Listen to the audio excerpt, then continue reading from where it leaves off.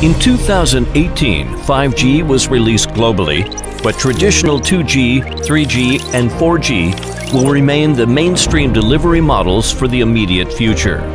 For mature scenarios, reducing costs and improving efficiency are a top priority for all level delivery organizations. The GTS Engineering Lab has teamed up with R&D and external institutions of all levels to optimize products and work procedures. The fieldwork period has now been reduced from 7.5 hours to 4 hours for a standard 4G wireless site, indicating that further efficiency improvements can be made. This video will clarify how a four-member team can complete site installation within 4 hours.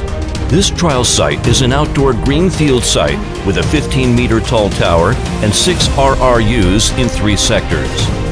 A pole has been installed on the tower and the indoor cabinets have been installed, with DCDUs and BBUs waiting to be installed. Site installation includes 18 activities in total, including pre-assembly, antenna and RRU hoisting, BBU installation, and cable routing and connection. Of these, pre-assembly is completed in the warehouse, while other activities are to be performed on site. Pre-assembly substantially shortens the fieldwork period, especially the assembly time for equipment on the tower, reducing the installation difficulty and EHS risks as well. Huawei personnel identify the site that requires pre-assembly based on the pre-assembly checklist, sort the equipment and auxiliary materials for the site at the warehouse, and deliver them to the site. Two persons move the equipment jointly and place it on the assembly platform. Attach color rings to the jumper. Connect the jumper and waterproof it with a cold shrink sleeve. Compared with the 1 plus 3 plus 3 waterproof solution, using cold shrink sleeves can improve efficiency by over 80% without any compromise on quality. Install the antenna support. Prepare a ground cable and connect it to the RRU. Label the jumper. Prepare connectors for the power cable and attach color rings. After pre-assembly is completed, check the pre-assembled parts, move the equipment to the designated vehicle, and get ready to start off. Before departure, Huawei personnel ensure that the equipment and auxiliary materials, as well as operation documents, are complete. Site access permits have been obtained, tools and PPE comply with relevant rules, and that the vehicle is in good condition. Upon arrival at the site, construction personnel cordon the site and erect safety signs. Operators wear PPE as required. Tower workers are equipped with safety ropes and check such devices for each other. As construction team leader, enable the facial recognition function of ISDP Mobile for clock-in. Perform EHS self-check before any operations and carry out the EHS risk assessment. After the safety signs are erected, move the equipment to the designated site for installation. Place tools in an area within easy reach of operators.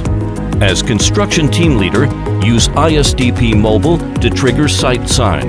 After the aforementioned preparations are complete, tower workers check the environment on the tower and place the required operation tools into their tool packages.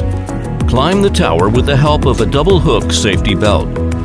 Check the stability and safety of the tower body and pole. Secure the pulley to an appropriate position on the pole. Ground personnel prepare for the hoisting of CPRI cables and power cables as tower workers are checking the tower. Place the CPRI cables and power cables in an open area to avoid cable crossing, intertwining, or the risk of them being trampled on. Protect the connectors of CPRI cables and power cables. Bind and fix them with lifting ropes by sector.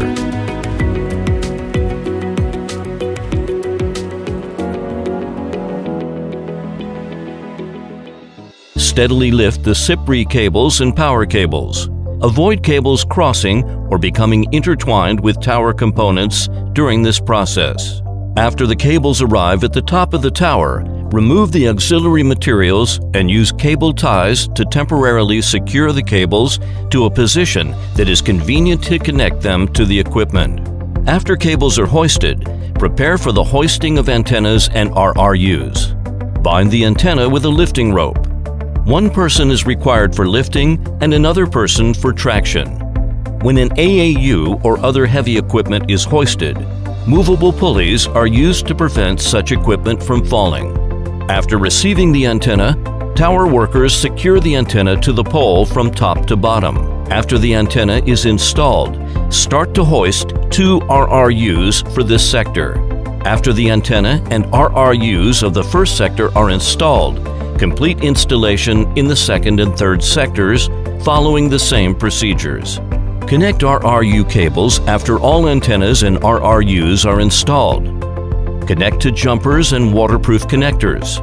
Compared with the 1 plus 3 plus 3 waterproof solution, it is more efficient to use cold shrink sleeves to work on the tower. Connect the ground cables and power cables, route the cables downwards, and securely bind redundant cables to appropriate positions. After the work on the tower is complete, use Smart QC to check equipment and take photos as proof. Remove the hoisting pulley from the tower. Secure the cables as tower workers descend the tower. As required by new installation standards, cable fixing clips should be deployed every 2 meters. Thus, both auxiliary material consumption and operation workload are dramatically reduced. Use a ratchet wrench to tighten nuts as this is more efficient. Finally, ground the power cables according to relevant specifications. Adopt the traditional 1 plus 3 plus 3 solution for waterproofing. The installation of the entire antenna system is now complete. As tower workers are working on the tower, ground personnel start to install indoor equipment. Note, Huawei's wireless full kit cabinets and network power infrastructure TP series do not require extra grounding. BBUs and DCDUs are grounded through rack mounting ears and mounting bars. First, install a DCDU. Next, install a BBU and secure it. For maximum efficiency, use an electric screwdriver to secure boards. Connect the cabinet power cable to the DCDU and fasten the connectors. Bind the power cable to the side of the cabinet using cable ties. Straighten the CPRI cables connected to the cabinet. Insert CPRI cables into the corresponding optical modules according to the color rings. Bind the CPRI cable to the side of the cabinet using cable ties. Ensure that the bending radius of CPRI cables comply with relevant standards. After the cables are connected and secured, attach labels to the cables, including the main power cable, the ground cable, the RRU power cable, and the CPRI cable. Double check that the cable connections and labels are correct and that labels of the same type are in the same direction. After all cables are connected, neatly route the cables outside the cabinet and bind them to the cable ladder using cable ties. Cable fixing clips are not mandatory for indoor and outdoor horizontal cable ladders.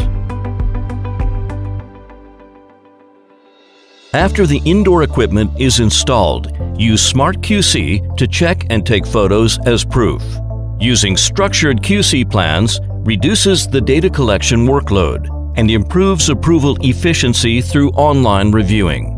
Use ISDP Mobile to perform Site Verify for maximum efficiency, link QC with Site Verify to reduce the workload. Finally, clean up the site and put away tools, protective belts, safety signs, fire extinguishers, and other devices. Ensure that no equipment or garbage is left on site. Notify the NOC and confirm the construction personnel can leave the site. Before leaving the site, Enable the facial recognition function of ISDP Mobile again to clock out. This video has given an overview of field works in a typical 4G new build scenario taking 4 hours in total.